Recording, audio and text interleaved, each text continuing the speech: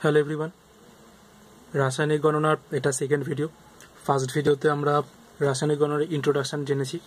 রাসায়নিক গণনা কাকে বলে, রাসায়নিক সমীকরণ কাকে বলে, আর স্টয়সিওমেট্রির কত রকমের প্রবলেম আমরা সলভ করব। তার মধ্যে ফার্স্ট প্রবলেম ভর ভর সংক্রান্ত বা মোল মোল সংক্রান্ত প্রবলেমগুলোর স্টেপ ধাপগুলো আমরা জেনেছি লাস্ট লাস্ট অব্দি তাই তো? এই ভিডিওতে আমরা বেশ কিছু টার্মিনোলজি সম্বন্ধে জানব, যেগুলো আমাদের কাজে লাগবে এই রাসায়নিক গণনার ক্ষেত্রে, ঠিক আছে? ক্যালকুলেশনের ক্ষেত্রে। প্রথমটাই হচ্ছে কি হেডিং দাও। গ্যাসীয় পদার্থের বাষ্প ঘনত্ব বা আপেক্ষিক ঘনত্ব। গ্যাসীয় পদার্থের বাষ্প ঘনত্ব বা আপেক্ষিক ঘনত্ব। ঠিক আছে? কি বলছে সংখ্যা? সংখ্যাটা লেখো। একই চাপ ও তাপমাত্রায় কোনো গ্যাসের ওজন, ঠিক আছে? সম আয়তন হাইড্রোজেন গ্যাসের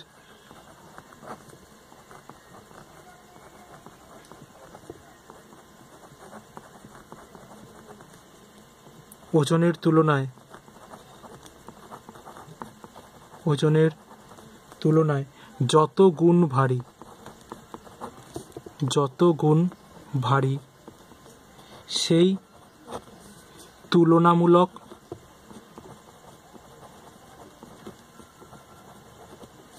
সংখ্যাটিকে।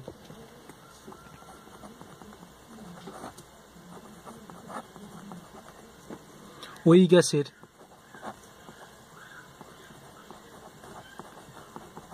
বাষ্প ঘনত্ব বলে।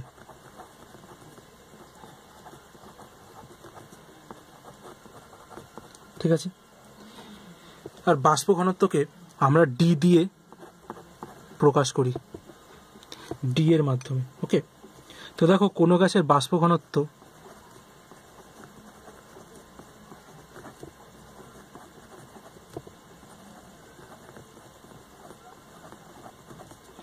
ডি ইকুয়ালস টু কি হবে?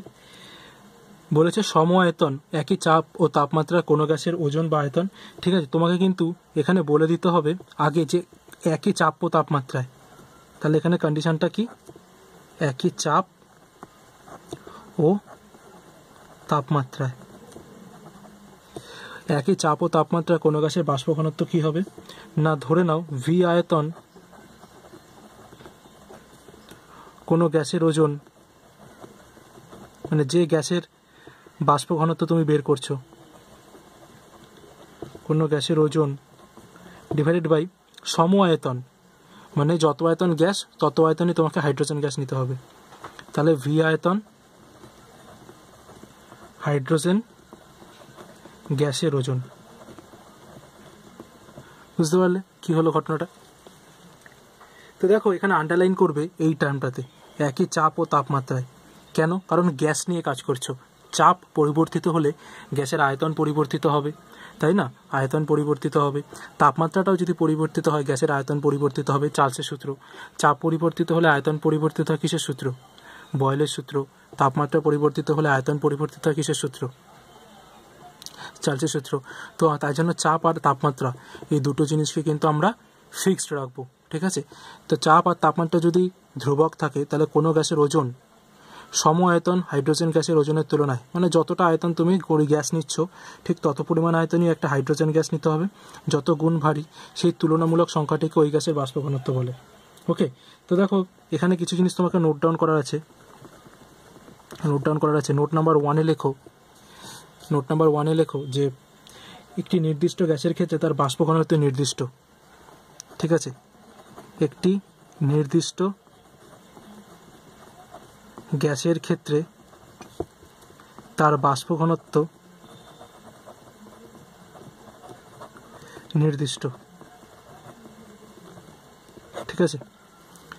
যদি গ্যাসটার নির্দিষ্ট হয়। মানে তুমি বলতে পারো, ধরো কার্বন ডাইঅক্সাইড কার্বন ডাইঅক্সাইডের ক্ষেত্রে বাষ্পঘনত্ব, এর মান, বাষ্পঘনত্বের মান ফিক্সড কোনো চেঞ্জ হবে না। কোনো কিছু পরিবর্তন হলে চেঞ্জ হবে না। ঠিক আছে?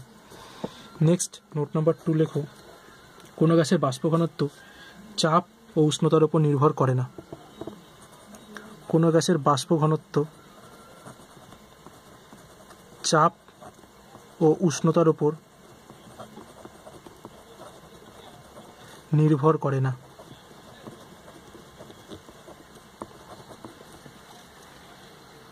এইটা কেন? দেখো। যদি চাপ আর উষ্ণতা যদি পরিবর্তিত হয় যেমন গ্যাসের আয়তনটা পরিবর্তিত হবে সেরকম হাইড্রোজেন গ্যাসের আয়তনটা পরিবর্তিত হবে। তাই না? তাহলে সমচাপ উষ্ণতায় তুমি কি জানো যে সমচাপ উষ্ণতায় নির্দিষ্ট আয়তনের কোনো গ্যাস সম আয়তন হাইড্রোজেন গ্যাসের তুলনায় যতগুণ ভারী সেই সংখ্যাটাই তো গ্যাসের বাষ্প ঘনত্ব এবার দেখো উষ্ণতা বাড়ছে বা কমছে এর ফলে হাইড্রোজেন অথবা যে কোনো গ্যাসের আয়তন সমানুপাতে বৃদ্ধি বা হ্রাস পায়। তাই উষ্ণতা পরিবর্তনে গ্যাসের বাষ্প ঘনত্বের মানের কোনো পরিবর্তন হয় না। ঠিক সেরকম চাপও, চাপের হ্রাস বা বৃদ্ধির ফলেও হাইড্রোজেন অথবা যে কোনো গ্যাসের আয়তন কী হবে? দুটো আয়তনই সমানুপাতে বৃদ্ধি বা সমানুপাতে বৃদ্ধি বা হ্রাস পাবে। তার ফলে কি হচ্ছে? আলটিমেটলি এই ভগ্নাংশটার কোনো পরিবর্তন হচ্ছে না। মানে বাষ্প ঘনত্বের না চাপ না উষ্ণতার উপর নির্ভর করে। আর একটা নির্দিষ্ট গ্যাসের ক্ষেত্রে বাষ্প ঘনত্ব নির্দিষ্ট হয় ওকে নেক্সট তিন নম্বর পয়েন্ট লেখো। বাষ্প ঘনত্ব কোনো একক নেই। বাষ্প ঘনত্ব এককহীন রাশি। এককহীন রাশি। কেন বলো তো এককহীন রাশি? তার কারণ দুটো আয়তনের অনুপাত তাই জন্য এককহীন রাশি ওকে লিখলে? ওকে এবার হেডিং দাও। লেখো গ্যাসের প্রমাণ ঘনত্ব।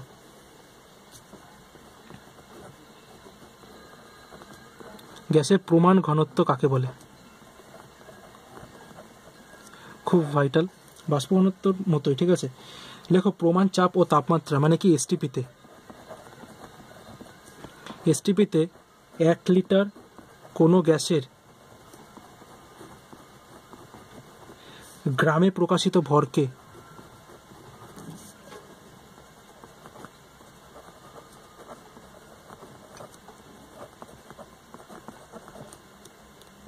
গ্যাসটির প্রমাণ ঘনত্ব বলে। ঠিক আছে? এখানে তোমাকে একটা গ্যাসের প্রমাণ ঘনত্বের মান মনে রাখতে হবে। স্টার দিয়ে লেখো, হাইড্রোজেন গ্যাসের প্রমাণ ঘনত্ব সমান সমান zero point zero eight nine gram per litre. প্রমাণ ঘনত্ব তাহলে কি বলছে? এসটিপিতে মানে কি? প্রমাণ চাপ ও তাপমাত্রায় এক লিটার কোনো গ্যাসের গ্রামে প্রকাশিত ভরকে। এক লিটার পরিমাণ একটা গ্যাস নেবে, তার যত গ্রাম হবে, সেটা হচ্ছে তোমার গ্যাসেরটির প্রমাণ ঘনত্ব। হাইড্রোজেনের প্রমাণ ঘনত্ব মানে হাইড্রো এসটিপিতে এক লিটার হাইড্রোজেন গ্যাসের ভর হচ্ছে গিয়ে zero point zero eight nine gram. ঠিক আছে? তাই জন্য প্রমাণ ঘনত্ব কী হিসেবে লেখা হচ্ছে? ভর বাই আয়তন, তাই তো? গ্রাম পার লিটার। ওকে এবার আমাদের এখানে একটা খুব গুরুত্বপূর্ণ প্রমাণ আসে, সেটা হচ্ছে প্রমাণ ঘনত্ব বাষ্প ঘনত্বের মধ্যে সম্পর্ক। প্রমাণ ঘনত্বটা কি বাষ্প ঘনত্ব? সেটাই। ঠিক আছে? তাহলে হেডিং দাও। প্রমাণ ঘনত্ব ও বাষ্প ঘনত্বের মধ্যে সম্পর্ক। ঠিক আছে? দেখো তুমি জানো কোনো গ্যাসের বাষ্প ঘনত্ব ইকুয়ালস টু কি? আমি লিখতে পারি যে এসটিপিতে ভি আয়তন গ্যাসের ভর বাই। দেখো বলেছে না, নির্দিষ্ট চাপ ও তাপমাত্রা। তাহলে এসটিপিতে ভি আয়তন হাইড্রোজেন গ্যাসের ভর। দেখা যায় এবার এটাকে লেখা যায় যে ভি ইন্টু এসটিপিতে এক আচ্ছা এখানে ভি আয়তনের জায়গায় লিখতে আমি ধরো ভি লিটার ধরো হতেই পারে, ঠিক আছে? এটা ভি লিটার এটাও ভি লিটার তাহলে এটা লিখতে হবে ভি ইন্টু এসটিপিতে এক লিটার গ্যাসের ভর। লিটার দিলে সুবিধা হবে এককটা বুঝতে। ভি ইন্টু এসটিপিতে এক লিটার হাইড্রোজেন গ্যাসের ভর, ঠিক আছে? তাহলে দেখো এই ভি এই ভি কেটে যাচ্ছে। আচ্ছা ভি কেন লিখলাম? দেখো ভি লিটার মানে কি? ভি গুণ এক লিটার মানে ভি লিটার এখানেও তাই ভি গুণ এক লিটার মানে ভি লিটার তো ভি ভি ক্যান্সেল আউট হয়ে যাচ্ছে। তাহলে আমার হাতে কি পড়ে রইল? যে এসটিপিতে এক লিটার গ্যাসের ভর বাই এসটিপিতে এক লিটার হাইড্রোজেন গ্যাসের ভর। তো এসটিপিতে এক লিটার গ্যাসের ভরকে কি বলে? এসটিপিতে এক লিটার কোনো গ্যাসের ভরকে কি বলে? গ্যাসের প্রমাণ ঘনত্ব। কি বলে? গ্যাসের প্রমাণ ঘনত্ব। ডিভাইডেড বাই এস টিভিতে এক লিটার হাইড্রোজেন গ্যাসের ভর মানে কি? হাইড্রোজেন গ্যাসের প্রমাণ ঘনত্ব, তাই তো? হাইড্রোজেন গ্যাসের প্রমাণ ঘনত্ব। তাহলে দেখো, এখান থেকে আমি চলে আসতে পারি। এত দূর হয়েছে? তো দেখো, সেখান থেকে আমি এইখানে সাইডে লিখছি হ্যাঁ? তো দেখো, তুমি জানো যে হাইড্রোজেন গ্যাসের প্রমাণ ঘনত্বের মান কত? Zero point zero eight nine litre তাই তো? তাহলে আমি লিখতে পারি যে বাষ্প ঘনত্ব ইকুয়ালস টু গ্যাসের প্রমাণ ঘনত্ব divided by zero point zero eight nine তাই তো? তাহলে আমি যদি কোনাকুনি গুণ করে দিই, তাহলে দেখো কোনো গ্যাসের বাষ্প ঘনত্ব কোনো গ্যাসের প্রমাণ ঘনত্ব, কোনো গ্যাসের প্রমাণ ঘনত্ব equals to zero point zero eight nine into ওই গ্যাসটির বাষ্প বাষ্প ঘনত্ব। ওই গ্যাসটির বাষ্প ঘনত্ব হচ্ছে রাইট তাহলে এটা হচ্ছে তোমার সম্পর্কটা। এটা না শূন্যস্থানে আসে, যে কোনো গ্যাসের প্রমাণ ঘনত্ব ইকুয়ালস টু ড্যাশ ইন্টু ওই গ্যাসের বাষ্প ঘনত্ব। তখন তোমার শূন্যস্থানে লিখতে হবে zero point zero eight nine ঠিক আছে? গ্রাম পার লিটার ওকে তো এটা কি ছিল? এটা টোটালটা ছিল তোমার প্রমাণ ঘনত্ব, বাস্তব ও বাষ্প ঘনত্বের মধ্যে সম্পর্ক। ঠিক আছে? তাই হোপ যে তোমরা বুঝতে পেরেছ এই জিনিসটা কি। কী করলাম? ঠিক আছে টোটাল প্রমাণটা কিন্তু খাতায় করে নিতে হবে। ওকে নেক্সট আমাদের যে প্রমাণটা আছে, সেটা হচ্ছে বাষ্প ঘনত্ব আণবিক ভরের মধ্যে সম্পর্ক। হেডিং দাও।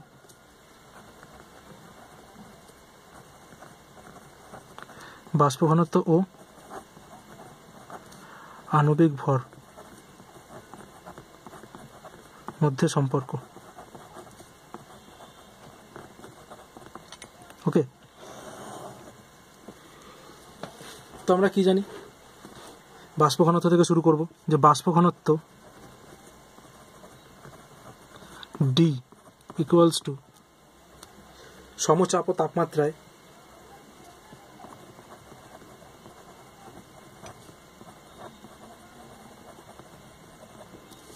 ভি লিটার গ্যাসের ভর। বাই। সমচাপ ও তাপমাত্রায় ভি লিটার হাইড্রোজেন গ্যাসের ভর।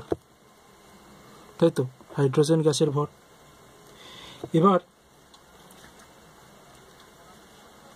এটা কিরমভাবে লেখো যে অ্যাভোগাড্রো প্রকল্প অনুযায়ী আমি কি জানি? যে সমায়তন সকল গ্যাসে সমান সংখ্যক অণু থাকে। তাই তো? তাহলে ভি লিটার গ্যাসের ভরে যতগুলো অণু থাকবে, এই ভি লিটার হাইড্রোজেন গ্যাসের ভরেও ততগুলো অণু থাকবে। আমি ধরে নিলাম সেটা এন সংখ্যক। তাহলে আমি লিখতে পারি গ্যাসের বাষ্প ঘনত্ব ডি সরি ইকুয়ালস টু গ্যাসের এন সংখ্যক অণুর ভর ডিভাইডেড বাই হাইড্রোজেন গ্যাসের এন সংখ্যক অণুর ভর এবার দেখো এই এন এন কেটে গেল। তাহলে আমি কি লিখতে পারি? ডি ইকুয়ালস টু গ্যাসের একটি অণুর ভর বাই হাইড্রোজেন গ্যাসের একটি অণুর ভর রাইট।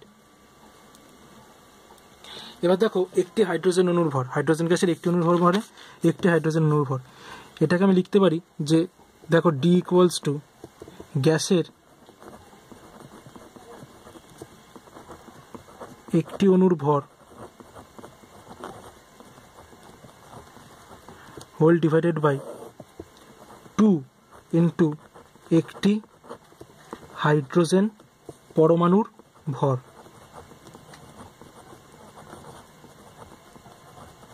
ঠিক আছে? কারণ হাইড্রোজেন দ্বি পরমাণু। একটি হাইড্রোজেন অণু মানে তো দুটি হাইড্রোজেন পরমাণু, তাই তো? তাহলে দুই ইন্টু একটি হাইড্রোজেন পরমাণুর ভর। তাহলে আমি লিখতে পারি D equals to half into গ্যাসের একটি অণুর ভর একটি হাইড্রোজেন পরমাণুর ভর রাইট তাহলে দেখো, এইটাকে বলা হচ্ছে গ্যাসের আণবিক ভর। এটাই গ্যাসের আণবিক ভরের সংজ্ঞা। একটা হাইড্রোজেন পরমাণুর ভরের তুলনায় যতগুণ ভারী, গ্যাসের আণবিক ভর। তাহলে D D equals to half into গ্যাসের আণবিক ভরের সংকেত হচ্ছে এম তাহলে তুমি এখানে কি পেলে? M equals to two D বা D equals to half M ঠিক আছে? M equals to two D গ্যাসের আণবিক ভর ইকুয়ালস টু দুই ইন্টু গ্যাসের বাষ্প ঘনত্ব ঠিক আছে? এইটা ছিল আমাদের প্রুফ প্রুফটা বোঝা গেল? থ্রু আউট প্রুফটা খুব সিম্পল ছিল। এটা কিন্তু পরীক্ষায় আসে মাঝে মাঝে। ঠিক আছে? বুঝতে পারলে আসলে তিন নম্বর এটা স্কুলের পরীক্ষাতে আসবে আসলে। আর এটা যদি প্রমাণটা আসে, তাহলে এই প্রমাণটা শুধু তিন নম্বর আসতে পারে। ঠিক আছে? আচ্ছা এরপরে আমরা কোনো মানে কিছু জিনিস আমরা নোট ডাউন করে নেব। Number one twelve C carbon পরমাণু সাপেক্ষে টুয়েলভ সি কার্বন পরমাণু সাপেক্ষে হাইড্রোজেনের পারমাণবিক ওজন। হাইড্রোজেনের পারমাণবিক ওজন।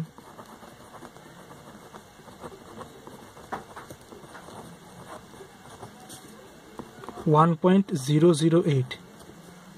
ঠিক আছে?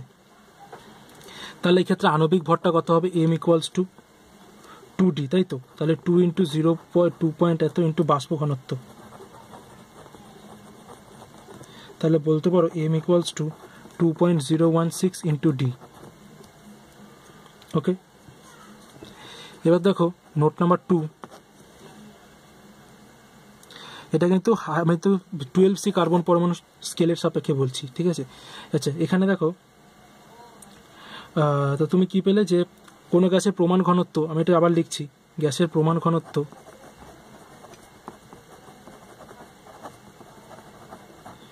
ইকুয়ালস টু বাষ্প ঘনত্ব ডি ইন্টু হাইড্রোজেনের প্রমাণ ঘনত্ব রাইট